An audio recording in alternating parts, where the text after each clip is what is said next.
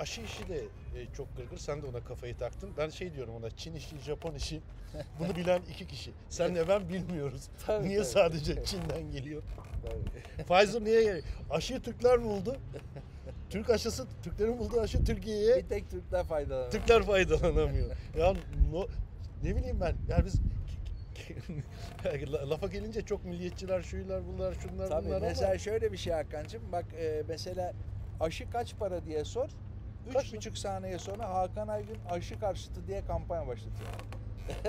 ya aşının fiyatını sormayacağız bu kardeşim biz. Yani bu aşı kaç para? aşının fiyatı belli değil değil mi? Değil. Aşının fiyatı belli. Aşının fiyatı şöyle belli. Mesela e, bunu Brezilya almış fiyatı belli. Evet ucuz almış diyorsun. Yazmışsın zaten. Endonezya almış fiyatı belli. Şili almış. Ha bizden başka satın alan herkes açısından aşının fiyatı belli. Ama Türkiye'de biri çıkıp ya bu aşı kaç para dediğinde hemen senin hakkında aşı karşıtı vatan haini falan diye kampanya başlatıyor. Yani aşının fiyatını sormak şu anda Türkiye'de suç. Yani bununla ilgili e, CHP milletvekilleri mecliste soru önergesi verdi. Ona da cevap vermiyorlar. E, gazeteler soruyor ona da cevap vermiyorlar. Miktar da yetersiz. Yani miktar şöyle bir şey. Mesela miktarın da gerçekten bu olup olmadığını bilmiyoruz. Çünkü bunu Sağlık Bakanı söyledi ama yani neticede bu alımın bir e, ne bileyim e, bir sistemi olması lazım. Mesela bunu kim alıyor? Sağlık Bakanlığı mı alıyor? Bir aracı kurum mu alıyor? Onu da bilmiyoruz. İhale mi açtınız? Yok. Nasıl yaptık? Bu da yok. Bir de mesela şöyle bir matrak bir şey var. Biz Çin'den 50 milyon aşı alıyoruz. E Çinliler 100 milyon Alman aşısı alıyor. Bizim Türklerinkini. Tabii. Çünkü aslında şöyle bir şey, dikkatten kaçan bir şey var Hakan'cığım. Perinçek'in hoşuna gitsin diye yapıyorlardır. Yeni koalisyon ortakları ya, küçük Çin- ortak. Gülme. Şimdi bu Gülme. bir- Bir de bir- Perinçek de bize takmasın. Tabii o da Çin'i çok, sever. Çok seviyoruz yani. Şimdi BioNTech dediğimiz firma bir Alman firması. Buna Alman hükümeti de ortak. Ve sonradan bu firma büyüyor. Ee, işte Bill Gates Vakfı vesaire de buna destek oluyor. Almanya'nın en zengin ilaç firmaları ortak oluyor. Ee, kabaca 6 milyar dolarlık bir şirket haline geldiğinde Pfizer şirketi, Amerikan Pfizer şirketi gelip e, BioNTech'le ortak oluyor. Alman. Alman BioNTech şirketi ile Amerikan Pfizer, Pfizer. şirketi ortak oluyor. Ve diyor ki Pfizer şirketi dünyadaki e, pazarlamanı ben yapacağım. Bu çerçevede anlaşma imzalanıyor. Aynı dönemde bir Çin firması da gelip BioNTech'le ortak oluyor. Ve diyor ki Çin firması Yazmıştım bunu. hem evet. faz 1, faz 2, faz 3 dönemlerinde biz size yardımcı olalım denek konusunda hem de daha sonra bu aşının Çin'deki pazarlamasını biz yapalım. Bu anlaşmayı da imzalıyorlar. Oh. Yani aslında BioNTech firmasının Çin'de satılacak olan bütün aşılarını bir Çin firması yapacak. Ve bunu resmi olarak ticari olarak anlaşmasını imzaladılar. Yani aslında bu 100 milyon Çin BioNTech aldı denilen bunun bir parçası. Belki 1 milyar adet alacaklar. Çünkü o BioNTech aşısının eee, Çin'de pazarlama haklarını BioNTech şirketi Çin şirketine sattı. Dünyadaki pazarlama haklarını da Pfizer'e sattı. Dolayısıyla Türkiye'de burada girip Türkiye açısından bir anlaşma imzalayabilirdi.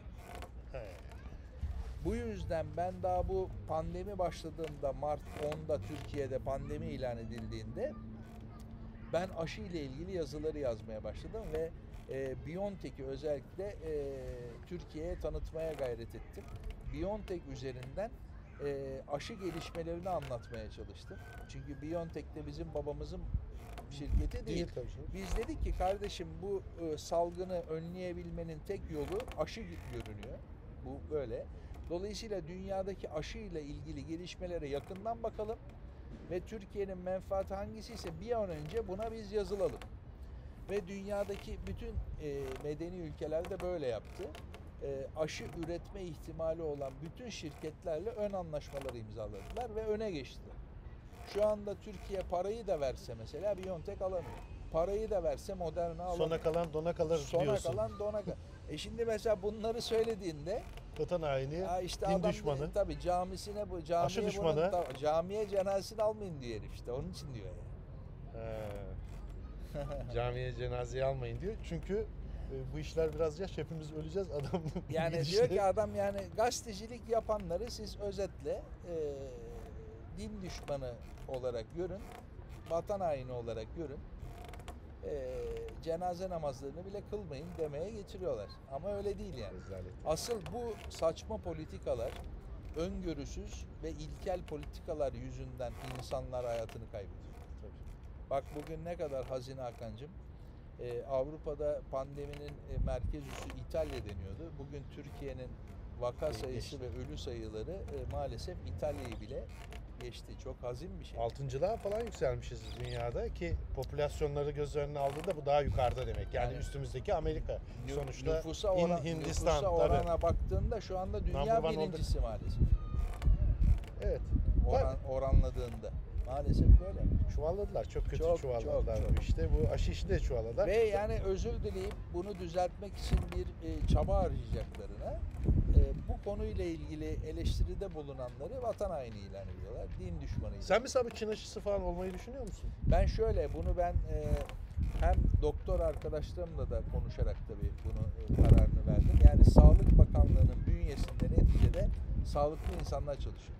Yani hem eğitim hem Sonuçta doktor. zihin anlamında sağlıklı insanlar İyi eğitimli insanlar. iyi eğitimli insanlarımız var. Dolayısıyla Sağlık Bakanlığı e, faz 3'te tamamlandı biz bu aşıyı olabiliriz dediği anda e, ben seve seve Çin aşısı olurum.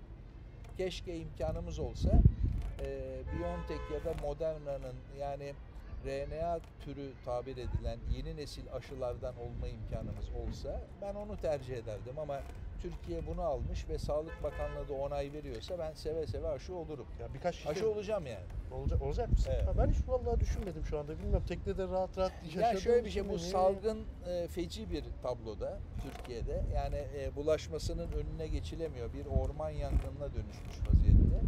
Yani bir ilaç bulunana kadar onunla ilgili de umutlar var, çalışmalar var ama 2022'yi söylüyorlar.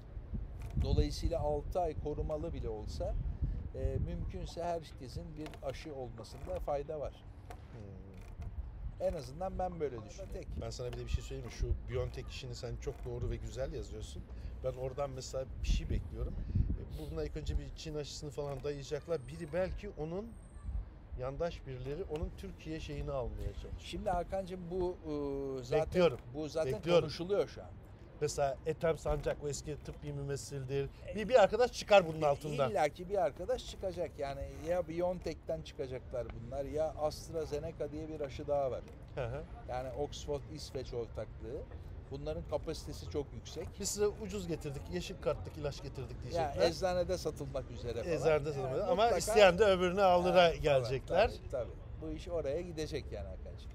Bence de öyle. Ee, Ama sen bunu çok kurcalarsan sonra e, cesetim cesedi şeye almazlar.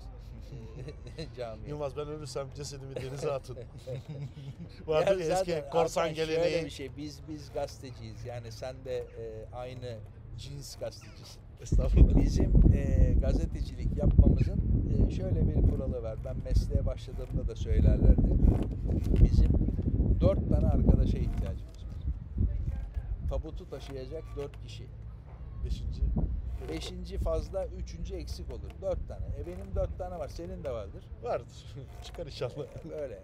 E, Yoksa kendimiz biz- yürüyerek biz gideriz. bu mesleği kimseye yaranmak için e, ya da herhangi bir kişi ya da kuruma şirin görünmek için e, yapmıyoruz. Dolayısıyla bu tür Zaten. saldırıların olması da çok normal. yani. Çok da alacağım. Ya, ya, ya, inşallah geçecekti bakalım diyorum İnşallah, ama inşallah.